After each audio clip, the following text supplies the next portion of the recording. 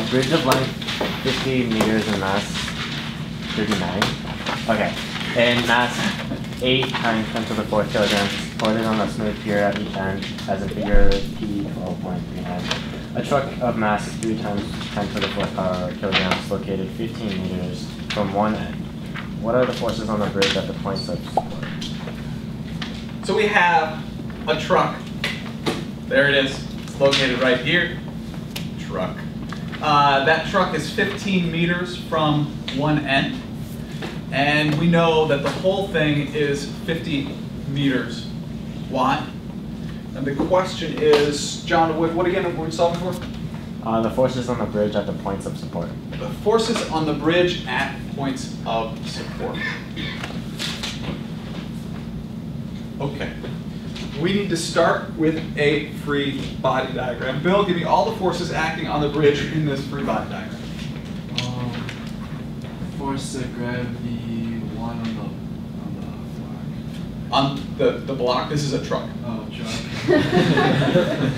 We'll call it force of gravity sub T for truck. okay. Um, force of gravity of the bridge. Where is that act? Um, is it at the middle? It would be right at the center of mass of the bridge, which would be right in the middle. So the force of gravity of the bridge, and I will identify that as being in the middle by doing this 25 feet. All right. Um, force normal of the truck. There's a force normal acting on the truck, I agree. Okay. Um, force normal on the bridge. Where? Uh, also at the center. No. It's okay. Force normal acting on the bridge is not in the middle. On each end. It says it's being supported at each end. Force normal, we'll call this one 1, and force normal 2. And who can tell me which of these forces does not appear in our free body diagram for the forces acting on the bridge? It's an important distinction. It is one of these forces is actually not in our free body diagram. John. Of gravity. The force of gravity of the truck actually does end up acting on the bridge. Potterella. Force normal of the truck. The force normal acting on the truck. I agree, there is a force normal acting on the truck. Absolutely. But remember, we're drawing the forces acting on the bridge itself. And this force of gravity of the truck acts on the bridge because the tr truck is pushing down on the bridge. But this force normal that acts on the truck acts on the truck and not on the bridge. So this is the free body diagram for the forces acting on the bridge. We now know this object is in translational equilibrium. We also know it's in rotational equilibrium. Uh, therefore, we can sum the torques about any axis of rotation. Um, what's the problem with summing the forces in the y direction right now? Tim? Uh, you wouldn't have a specific axis of rotation. Right, but that when we sum the forces, we don't have an axis of rotation, so that wouldn't be an issue. Sierra? If you sum, if you sum the forces in the y direction, you'll have two unknowns. We'll have one equation with two unknowns, right? Or you can cancel out one. Right. So right now, we can't really sum the forces in the y direction because we'll have the two unknowns, force normal 1 and force normal 2. We're instead going to sum the torques. Please pick an axis of rotation for summing the torques, Meg. Um, at the beginning of the bridge. Okay, so we're going to pick this as our axis of rotation. So this is going to be about the left end. We list all of our torques. We have the torque due to the force normal 1, torque due to the force of gravity of the truck, torque due to the force of gravity of the bridge, and the torque due to force normal 2. That is equal to I times alpha, or in this particular case, it's equal to 0. The right hand rule. Please identify your right hand.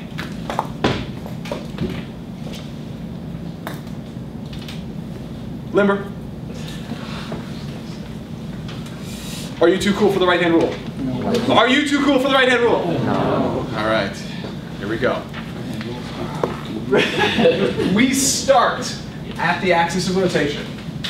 We point our fingers along the lever arm. For the force of gravity of, the truck, we curl our fingers in the direction of the force of gravity of the truck. We point our thumb into the board. Class, into the board is positive or negative? Negative. Good, because it corresponds with down. Therefore, we get the torque due to the force of gravity of the truck is negative. Note we do the exact same thing with the torque due to the force of gravity of the bridge, starting at the axis of rotation, moving along our lever arm, curling our fingers in the direction of the force of gravity of the bridge, we also get negative or into the board. For the torque due to the force normal 2, again, we start at the axis of rotation, point our fingers along the lever arm, curl our fingers in the direction of the force normal 2. We get that the torque is out of the board class, which is? Uh, good. What about the torque due to the force normal 1? Sierra. Well, that arm would be zero, so we can't. Notice the lever arm for normal 1 is equal to 0, so that whole piece is gone. Torque is RF sine theta, so we have negative uh, lever arm for the truck times the force of gravity of the truck times the sine theta for the truck minus the force, oops, minus the lever arm of the bridge mul- multiplied by the force of gravity of the bridge times the sine theta for the bridge plus the force, lever arm for force normal 2 times the force normal 2 times the sine theta for force normal 2. That all equals 0. Uh, let's see, what is, we'll just start with the thetas. What's the lever arm for the, I'm sorry, what's the angle between the force of gravity of the truck and the lever arm for the truck? Look, Oh, 90. 90 degrees. Notice the lever arm is here. That's going to be a 90 degree angle. So this is going to be um, sine of 90 mass of the truck times g lever arm the truck minus lever arm for the bridge, mass of the bridge times the acceleration due to gravity times the sine theta for the bridge. Loki, Um, also 90. This one works out well. Plus lever arm for uh, force normal 2, force normal 2, and the sine of Loki. 90. Notice all of these in this particular case are 90 degrees. At this point, it's just an issue of plugging in all the numbers. Uh, Henry, give me all the numbers here. The lever arm for the truck, Um, is uh, 15 meters, mass of the truck, uh, 30,000 kilograms, 30,000 kilograms. Acceleration due to gravity here on planet Earth, uh, 9.8. positive or negative? Positive. Are you positive? Yes, I am. Good. The lever arm for the bridge, Uh, 25 meters, 25 mass the bridge, uh, 80,000 kilograms. 80,000 times the acceleration of gravity, which you mentioned as positive 9.8. The lever arm for force normal 2. Um, 50 meters, Notice for that one, it's all the way from the axis of rotation, the entire length of the bridge, and force normal to that which we are solving for. Please give me force normal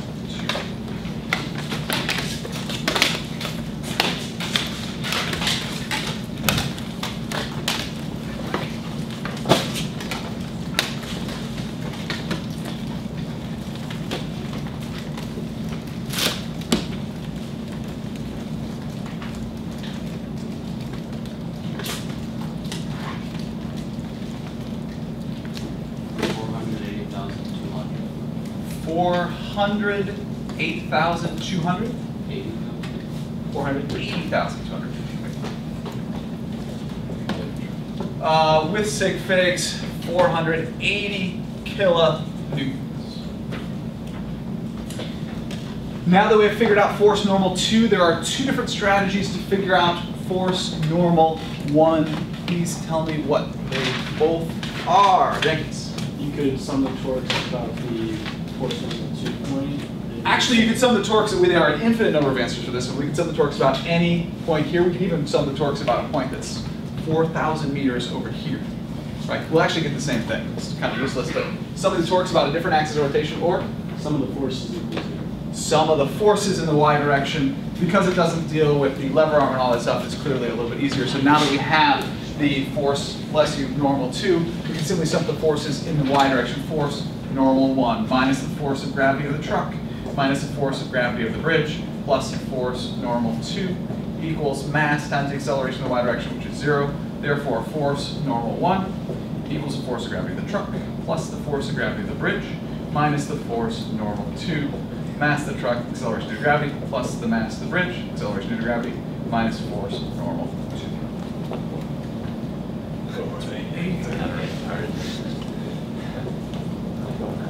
Yes.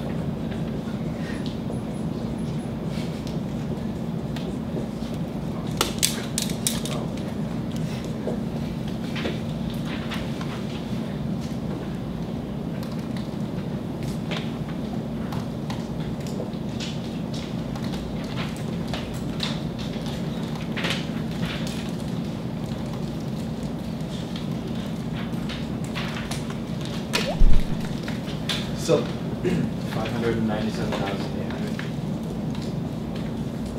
uh, that's in newtons with sig figs, 598 kilonewtons. So you can see a basic application of using translational and rotational